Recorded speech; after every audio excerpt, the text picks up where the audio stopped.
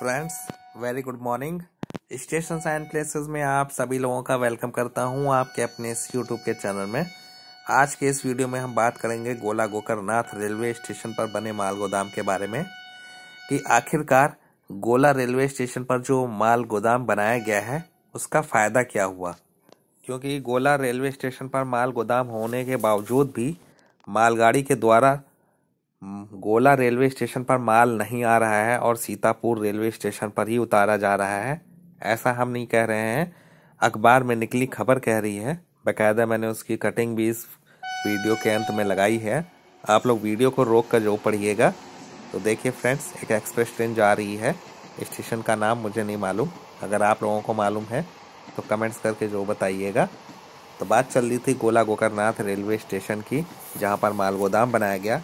कि आखिरकार माल गोदाम बने होने के बावजूद भी जो खाद है या कुछ अन्य ज़रूरी जो चीज़ें हैं जिनका आयात किया जाता है, जो लखीमपुर के व्यापारी हैं, वो आयात करते हैं और अपना माल, मालगाड़ी के सहारे मंगाते हैं तो उसके बावजूद भी उनका जो माल है वो सीतापुर में ही उतारा जा रहा है, जिसकी वजह से कई जो माल है लखीमपुर में वो महँगे मिल रहे हैं।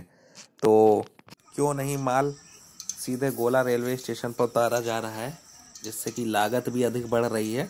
पहले तो मालगाड़ी को भाड़ा देना, उसके बाद फिर ट्रक के माध्यम से लखीमपुर या अन्य जगह पर पहुंचाना, जिससे कि जो माल मिल रहा है वो और भी महँगा मिल रहा है।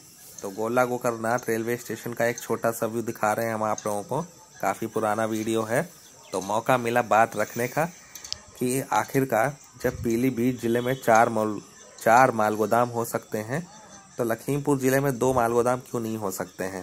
बाकायदा जगह भी सुझाई गई थी, क्योंकि एक तो माल गोदाम जो है वो आपका गोला गोकरनाथ रेलवे स्टेशन पर पहुँच गया, दूसरा जो माल गोदाम है, वो चाहे तो रेलवे खीरी टाउन हॉल्ट पर बनाया जा सकता है, पर्याप्त मात्रा में वहाँ पर जगह है, रोड भी वहाँ से कनेक्टेड है, आसानी से कनेक्ट भी हो सकती है, माल को लाने, ले जाने, लोडिंग, अनलोडिंग आसानी से हो सकती है खीरी को स्टेशन का दर्जा भी मिल जाएगा क्योंकि लगभग सत्तर अस्सी हज़ार की आबादी भी है।